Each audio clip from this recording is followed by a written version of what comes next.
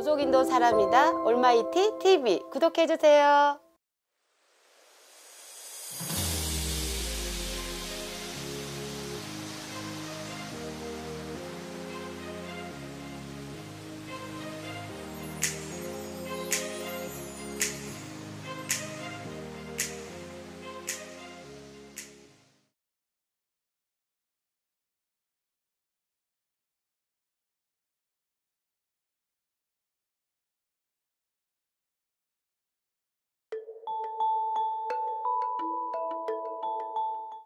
스물네 살에 어, 남자 같은 경우는 음, 열아홉, 어, 스물, 스물여덟이 이제 좋은 궁합이고요. 나쁜 궁합은 스물하나, 스물둘, 서른. 또 여자 같은 경우에는 여자 쥐띠 같은 스물 이제 네 살 경우에는 스물여덟, 서른하나, 서른둘. 이 이제 좋은 궁합이고 그리고 나쁜 궁합으로 가자면 이제 스물여섯, 스물아홉, 서른. 서른여섯 살에 쥐띠는 어, 남자 같은 경우에는 스물여덟, 서른하나, 서른두 살에 용띠가 좋고 그리고 이제 나쁜 띠로는 서른, 서른셋, 서른넷 그리고 이제 여자 같은 경우에는 서른여섯에 쥐띠라면은 마흔, 마흔셋, 마흔넷 어, 좋은 거고요. 또 나쁜 궁합으로 보자면은 서른여덟, 마흔하나, 마흔둘이 어, 안 좋다라고 볼 수 있어요. 충익이기 때문에 부딪히는 격이기 때문에 그런 음, 나이적으로 차이가 좀 있다고 보시면 돼요.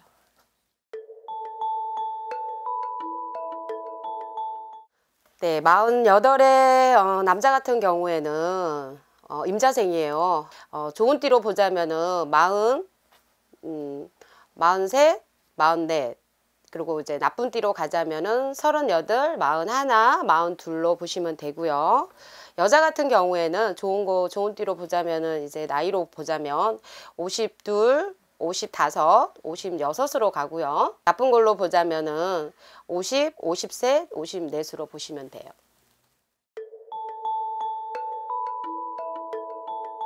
경자생 쥐띠예요. 60살 같으면 어, 경자생 쥐띠 같은 경우에는 어, 좋은 궁합으로 보자면은 52, 55, 56으로 보시면 되고요. 나쁜 궁합 같은 경우는 53, 54, 58로 보시면 되고요.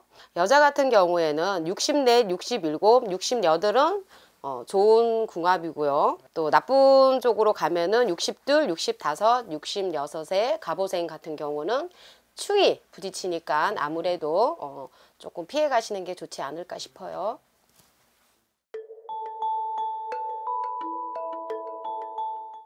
정축생이네 그쵸 23살 같으면 정축생 소티 같은 경우에는 이제 좋은 궁합으로 보자면 19, 21, 27 나쁜 궁합으로 보자면 음, 18, 20, 22.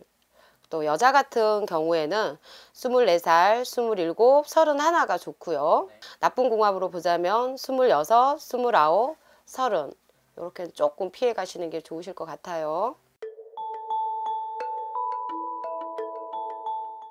서른다섯 소띠 같은 경우는 을축생이에요. 남자 같은 경우에는 어, 좋은 궁합으로 보자 그러면 서른하나, 서른셋, 서른아홉 가고요.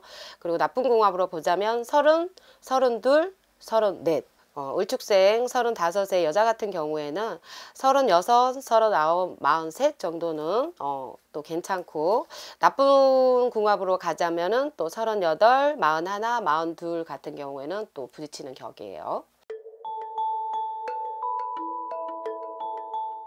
47 소띠면은 개축색 소띠예요.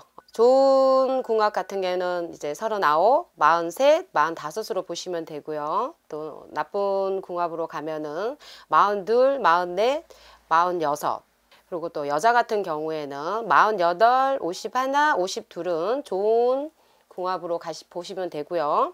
나쁜 거는 또 46, 또 50, 54은 또 부딪히는 격이고